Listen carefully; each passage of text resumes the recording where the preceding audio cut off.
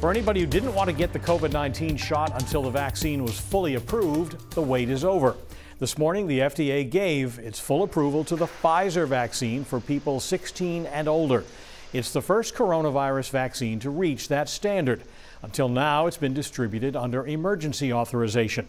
Now that it has cleared the approval process, health officials hope more people will be willing to get the shot.